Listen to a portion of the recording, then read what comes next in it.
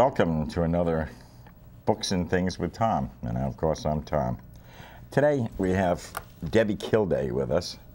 Debbie is an author, a poet, a nature photographer, and an artist. Uh, she designs book covers for authors, plus custom note cards and posters. And she's an author of two books, and one of them is the uh, No Limits and How I Beat the Slots. And that should be very interesting for anybody who likes to go to the casino. Mm-hmm. And that's probably one of the ones we're going to talk to today. Welcome, Debbie, Hi, Tom. and thank you for coming. Would you, would you like to talk about your No Limits book? Um, it's the story, my story of how I spent five years uh, playing dollar slot machines, mostly at Mohegan Sun Casino, and how I won $3.4 million during that time. Whew. I'm sure everybody wants to know how you did that. And I don't have any of that money today. and it's not because I spent it, it's because I gave it away uh, to other people that were sick uh, with different kinds of illnesses. wow. Gave it all away. I did. And uh, how did you go about winning out? Tell us a story about how you get started going to the casino. Well, I'm 58 years old now, and I was 50 at the time. My best friend was dying of cancer, and she wanted me to go to the casino with her. And I had never been to a casino in my whole life. And um, the night we were supposed to go, uh, my husband and I, and she and her husband, she had her first brain seizure. She had brain cancer, and um, she was unable to go. So she said to me, though, I want you to go and make new friends before I die. Um, you know, go to the casino anyway. Yeah. Which she was going to ask for a report the next morning, so I knew I had to go. Yeah. So anyway, I went. Um, we went to a comedy show of all things, which was very depressing because I was thinking about her the whole time. Um, but after that, my husband went one way. He had been to casinos before.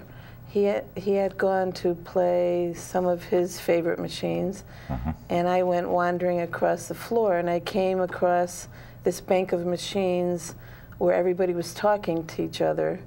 Um, I didn't know anything about the machines at that time, and they were dollar machines. So I thought, well, this is this looks like a good place, you know, to sit. And uh, so I sat down and I started uh, playing this machine. But as soon as I did, all the people there started talking to me, asking me, "What's your name? Where are you from?" All Yeah. this. So they were very friendly. Wow. And um, then all of a sudden there was a shout out that the woman at the other end of the row had just won $10,000 playing, a, you know, Ah. this machine. And um, I was think I was sitting there, gee, I wonder what $10,000 even looks like. and just as I thought that, my machine went off and I had just hit 10,000 myself. wow. Oh. Now you got a picture of that in your book. I that do. first ten thousand. I do. Let's see, where is it? Right here. There you go. That's unbelievable. So, um, the, the most unbelievable thing was after that, uh, we did go home, but um, the next night we had been invited to come back. And um, of course, I went back and we saw Paul Anka, uh, who was very nice to me, you know. Yeah. And he's a great entertainer. But Now, who invited you back? The Mohegan Sun did? yeah, Mohegan Sun did. Is that right? And gave you free tickets? To, They actually gave us dinner, a hotel room, and free tickets to see that money comes to money. And um, so after the show, I, I went back to see if I could play the same machine, and it wasn't even available. So I had to sit at another machine, but I was with the same people that had been there the night before. They were back, Huh. and um, so anyway, I started talking to them, playing, and I just I won another jackpot. I won twenty five hundred dollars. Twenty minutes later, I won five thousand. Um, it was like forty minutes later, a thousand. 500. I mean, I just kept winning. Wow. And I didn't know why. I didn't know why at all. Huh. So did you figure out why you were winning? I didn't figure out why I was winning until after my friend died. Uh, she, in that first five months before she passed away, I had won four hundred thousand dollars. Really? Uh, playing the dollar slots at Mohegan Sun, and um, I gave that money toward her medical. She had, you know, outrageous medical bills from the cancer. Yeah. Uh, the medications were outrageous. So I helped her um, those first five months, and then she passed away, and I was I went into a, quite a depression after that. I can imagine. Um, you know, I couldn't save her, but I made her comfortable. yeah. Um, But anyway, so I wondered. I started wondering, why am I winning so much? Uh, can I do this anywhere? You know. Yeah. So I decided to go to Las Vegas, and um, they were all these casinos across the country were offering me free stays, um, you know. So we went to Las Vegas, and four days and three nights there, I made three hundred and sixty thousand dollars playing dollar slot machines Oh, in all the different casinos, but mostly at the time it was called the Las Vegas Hilton. Uh, now it's the Las Vegas Hotel, but yeah, mostly there. Wow. How, how'd your husband Mike uh, react to you giving all this money away? Well, it wasn't one lump sum, Oh, sorry. so um, it was like you know, you win a few thousand, you give some money to somebody, um, you keep winning, you keep giving money away. um, or paying for things, dinners, or whatever you were doing with the money. And that's what happened. I mean, people don't realize uh, someone took me out to dinner a couple of months ago. Well, we went to dinner, and they insisted upon paying. And I said to them, uh, well, they said they insisted upon paying. And I said, you don't realize what you're doing here because if you keep paying for everybody's dinner each time you go out, that's exactly what happened to me. Every time I won, I gave money away. Yeah. It's easy So to do. That's how it, yeah, it amounts to. Well, I think that that's you know pretty much true with people who don't have anything suddenly have everything. They're more than happy to share. Yeah, I mean, well, but it wasn't until I was in Las Vegas that I realized why I was winning so much. And once I found that out, um, which I'll tell you about in a minute, but you know, once I found that out, there was no stopping me. I knew I could go anywhere and win like I had been winning. Wow. Um, I was playing an old ancient machine. It was like eight feet tall, and um, it had this window, you know, and you could see inside the machine, and all the wheels were turning, and it had little slots where the numbers came down, and I was seeing like a seven, a two, a five, an eight. I didn't even know what it meant, you know. Yeah. Then the next spin, I was seeing different numbers, and then I, I won 10,000 on that machine, and that's when I realized I was seeing the program running the machine in the background by looking at what you see on the face of the machines. At first, it was subconscious, those first five months, Yeah. but now I was conscious of why I was, I was only sitting at machines that were going to win subconsciously. Hmm. But then now I was sitting at all the machines, you know, that I knew were going to win after that. That's amazing. And, and you explain in detail how you can get away with this, or how you won. and the casinos don't care. No, because I'm very generous. Um, you know, I But they would actually probably like you to sell a lot of these books so everybody can go up there and try, and knowing they're not going to make as much money as you did. well, there are a lot of variables. Uh, even though I tell people in the book, you know, what to look for yeah. and how to play the different machines and what machines you shouldn't play. Like you shouldn't, if you can help it, not play penny machines, which they would probably wouldn't like me saying that. Probably. But well, no, um, because they, if they play more expensive machines, they're getting more money. Yeah, but uh, I tell people if they can't afford a, a dollar machine, uh, play a quarter machine. Yeah. Because, you know, the higher the denomination machine you play, the easier it is to win more money, of course. And actually, the penny machine isn't that cheap because in order to win anything, you got to put what 20 cents in that thing. Well, the, the the first rule I have to tell you is to play the max into any machine that you're playing. Yeah. So if you don't, um, what happens internally in the machines is they either come to a stop and sit idle, waiting for that next coin, uh, the maximum amount of coin, or they, in the older machines, they go back one step, so you're that much further away from the jackpot. Huh. Plus, when, when it hits for the jackpot, you didn't put the max in, so you don't get anything. yeah, in some cases, you don't get anything. Yeah. Yeah. So, um, anyway, so I figured out um, how to do this, and the reason why, you know, I I spent a lot of money. I mean, making a lot of money, I still spent a lot of money uh, at the different casinos. That's true. Uh, my favorite casino is Mohegan Sun, though. Yeah, I, I like that too. Yeah. But you can uh, you can spend a lot of money there, those shops and everything, and buying gifts. And I did. And, yeah. I did. Yeah. Yeah. You know, I never got a gift, but that's okay. There's still time, Tom. that's that's fantastic. And I've read the book, and you got some stories in here about people that you met. And uh, why don't you tell us some about some of the people?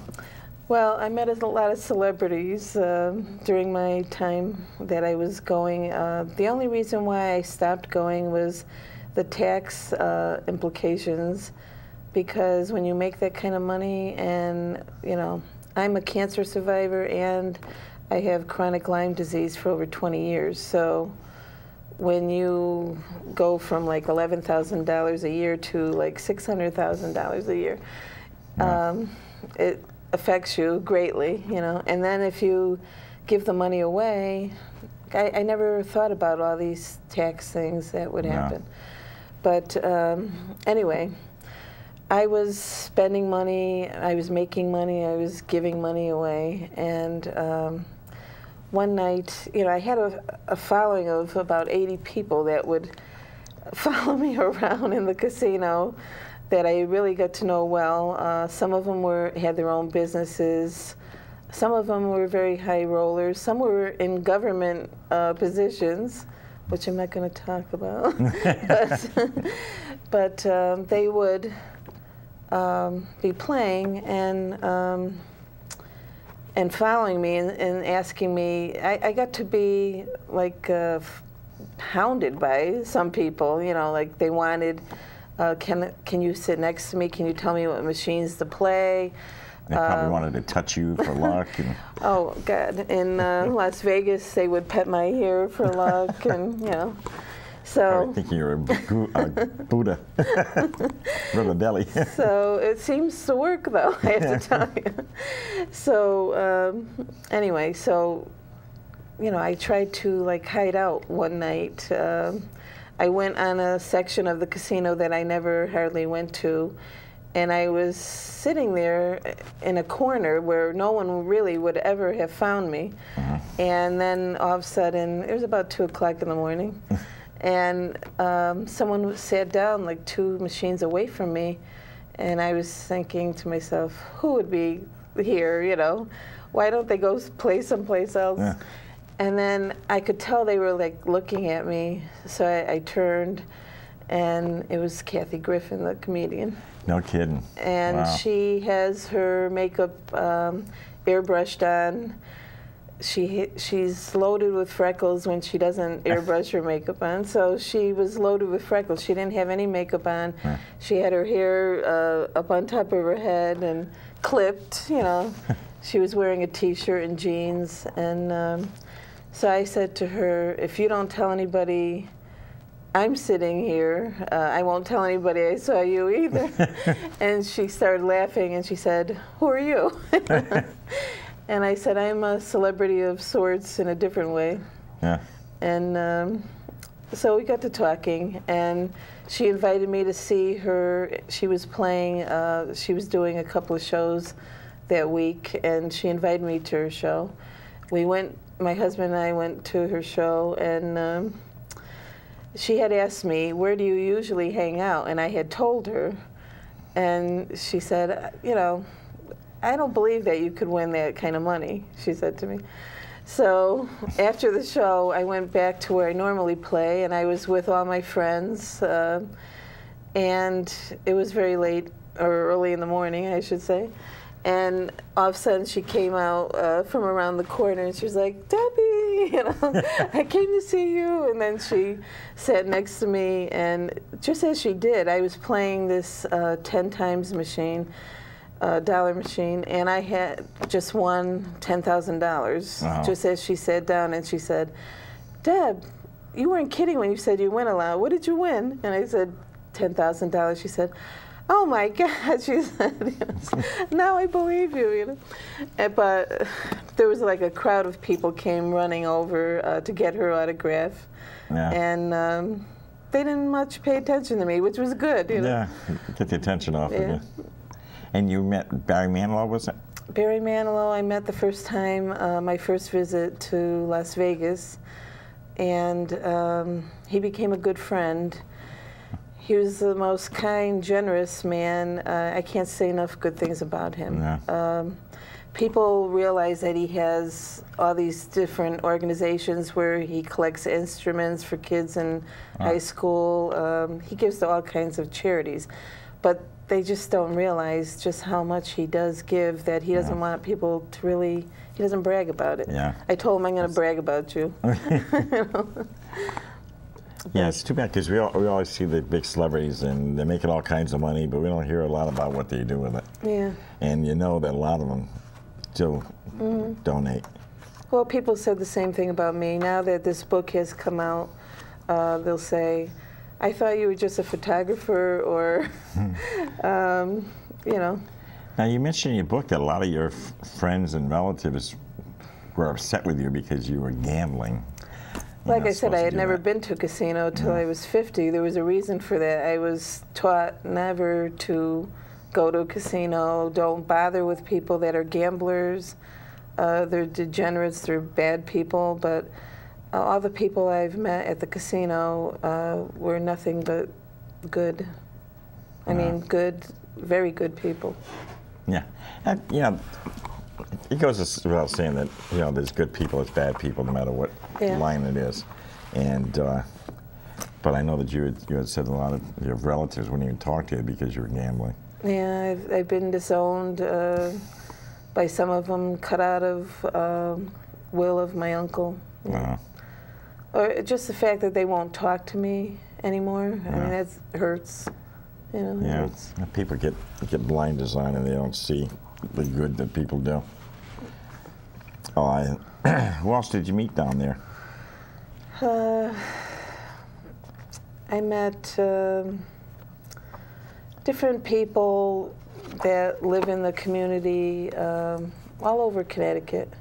Yeah. I became, like I said, I became friends with some people that were big in businesses uh, throughout Connecticut. And um, they were very interesting. Some were, like I said, uh, doctors, lawyers. Now, you mentioned in the book, because I read this whole book, this, I thought it was a fantastic book. It's not just about playing the slots. There's a lot of human interest stories in here. And, and it, it's been a couple months since I read it, and I got to try and remember. There was a woman that met a guy, and they got married. Um, well, no. Help me out here. I don't know if they got married or lived together, whatever it was. Um, my best friend, who is my best friend, I call her Nellie in the book. I'm Yes, not going to yeah. tell you what her real name No. is, but um, I met her that first night that I went to the casino. Uh, that woman that won the 10000 right before I won 10000 was to become my best friend, Nellie. Um, I had gone and congratulated her on her win because, like I said, the next night when we went back to the casino, all these same people were sitting there uh, in these two rows playing. And um, so, you know, she kind of helped me get over uh, the death of my friend, um, whose name was Kathy. And, um, you know, she, she became my best friend. we had uh, mutual friends through the casino, and she met the love of her life. She was a widow, um, and she met the love of her life at the casino. That's neat. So, um, you know, you never know who you're going to meet there. So you really. really have like a, your own little community in there. It was like a whole uh, community. So it's, it's not just go In up there and fact, I'd games. rather uh, stay there than be in the outside world, you know, like I am now. But um, it's a different environment. Um, But you get to eat the best of foods. I did. I I had the best of everything, and I went from nothing uh, to the best of everything, and I'm back to basically nothing again. and Going full it's circle. okay though. It's okay. See, I was thinking maybe after the show, you and I can go up and uh, maybe I can make some money. All right. but, I'm open to the idea. No, but my my message in my book is to um, look beyond what everybody tells you. I mean, people will tell you what to do all the time, like you shouldn't gamble, you shouldn't, uh, you should shouldn't even talk to people or strangers or whatever they're telling you. You have to do what's in your heart, uh, what's good for you. yeah. I found um, being a part of that community of the casino that that became like a second home to me, and the people were so friendly. uh, You know, the casino personnel even. Um, like I said, you know, you have to be true to yourself, Yeah. and if gambling is involved in that, then you have to do that. You know? It's what you got to do. The name of the book is No Limits and How I Beat the Slots by Debbie Tosun Kilday. And uh, Debbie does other things besides write these books. But it, it's an interesting story. It's, it's something that, whether you're interested in slots or not, it's a book that has a lot of human interest stories in it.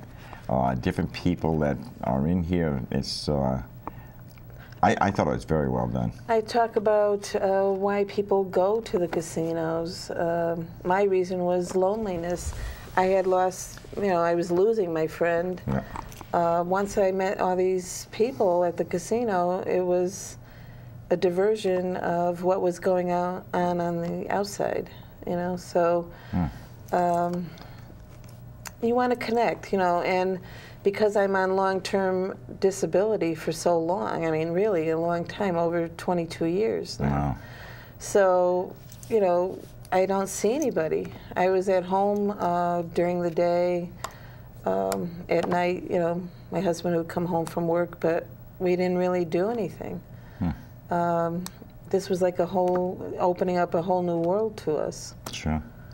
And of course, you know, winning all that money, I could do whatever I want. Yeah. and Did he go with you most of the time with the casino? He did. Uh, not all the time, but most of the time. Because he had a job. He had to Yeah, work. he had to work.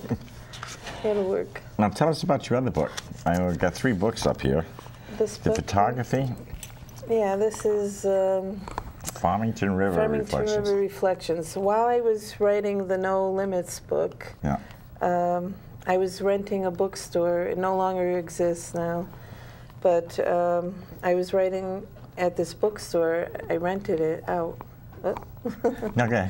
And um, so when I wasn't writing the No Limits book, I would look out the window and I would see these beautiful uh, pieces of scenery.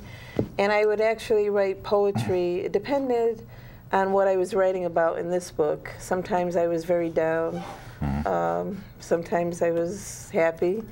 And my poetry is reflected in that, you know. Huh. And why don't you give us, give us a couple of shots of the what pictures in there? Okay. Um, what I want to tell you, here's a Oh, picture of the geese Yeah. um, that I would feed every day that I went there. Um, pictures of the Farmington River. Oh wow. Um, Because most of the time we see that on TV is when it's flooded. yeah. but um, I've been a photographer since the uh, early 70s, so Wow. You know, I do take a lot of pictures. Yeah, and gorgeous. um, here's some fall pictures. Oh yeah. Nice. So anyway, I would be, um, you know, taking some photography and writing some poetry, whatever feelings I was feeling at the time. Mm. And I um, actually uh, made this book first, before the No Limits. Oh, is that right? out. Yes, yes. Now, you are, besides writing and photographing, excuse me, the uh, you also have uh, in charge of the Big E, which uh, made over thirty-one thousand dollars in seventeen days of selling books. I did this year. I, I've been doing that for six years now Yeah, uh, for Connecticut Authors and Publishers Association. yeah. And you do, do a great job. I don't know how you do it. This year was the first year where I was actually an author myself selling my book. That's I didn't have a book before this That's right. year.